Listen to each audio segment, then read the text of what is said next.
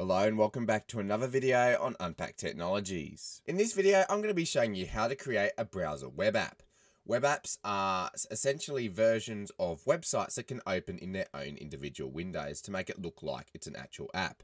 They can be pinned to the taskbar or the dock, depending on what operating system you're on, and they allow for a lot more versatility. So let's get straight into it.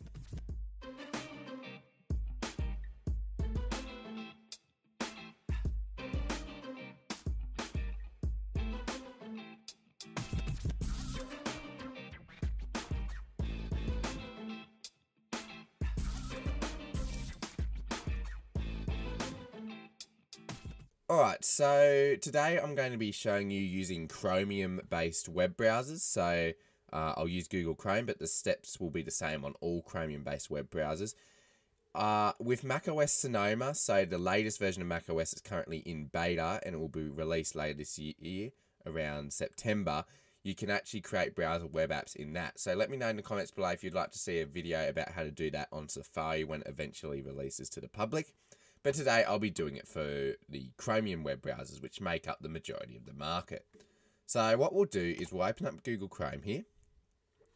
And as I said earlier, this will work on other Chromium-based browsers such as Brave, um, Microsoft Edge, things like that. What we're going to do is there's certain websites that will allow you to create web apps for them. So some may not work and some will. So a good example of this is YouTube. So we'll go to youtube.com here. And when we look it up, uh, it sort of looks normal on this website. Excuse the recommender. This is just um, a not signed in account, so it doesn't um, reflect uh, anything. It's just random videos. But um, in the address bar here, if we go over to the right hand side, you'll see you've got your typical favorite, share, but you'll also have a new button uh, that looks like it's a download icon. And when you hover over it, it says install YouTube or install whatever website you have open. Now, this doesn't work on all websites. If we go to apple.com here, um, sometimes it won't show up. Like for now, for example, right now it's not showing up. Now, I think there is a way that you can still install it, but it's a little bit more complicated. And I'm just going to go through the simple process in this video today. Um, so yeah, some websites you may not be able to do it on, so you'll just have to try certain ones. But YouTube is a good example of one that you can do it on. So if we click that install button, it'll say install app. It'll say YouTube, www.youtube.com, or that will change depending on whatever app you're using. It'll also show the icon it will use, and then you can just click install.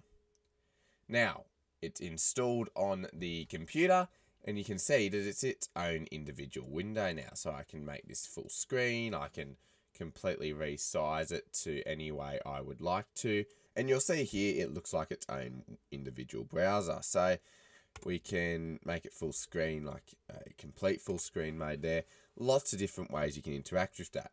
You can also see down the bottom here, it's, it's coming up as its own app on the dock. So I can even right click on it and go options, keep in dock, and it will now sit in my dock wherever I want it. So I can move it around, I can put it here, and if I close the window off, and we'll, you can see it's also loaded into the Chrome apps section on Finder.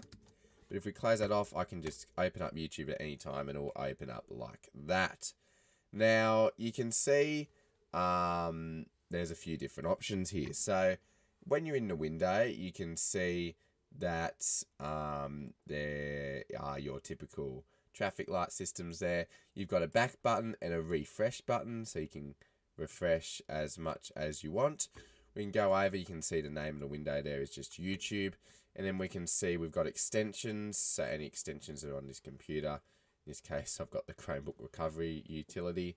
Um, but any other extensions you have, you can manage extensions. And then you've got the hamburger menu that just gives you app info, you can copy the URL, open it back in Chrome. Uh, so that will open this website back in your normal web browser, so the one that's behind me here. We can uninstall it. We can change the zoom, print, find, cast, edit, and things like that. Now, you can see that if we click the app info, just got some different things here about secure connections and things like that.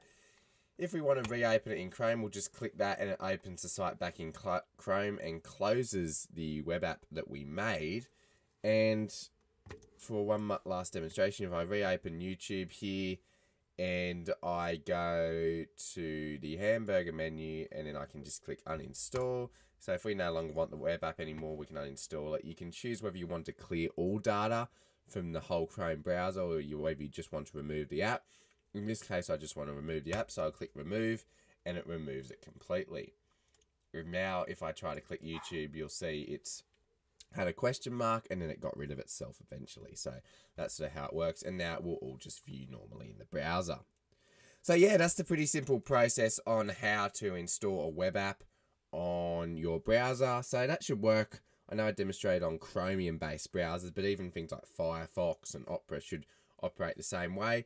And once again, if you'd like me to make a video on Safari when it comes out later this year with macOS Sonoma, I'm more than happy to make that. So just let me know in the comments. But yeah, hopefully this video was helpful in allowing you to create web apps on your browser.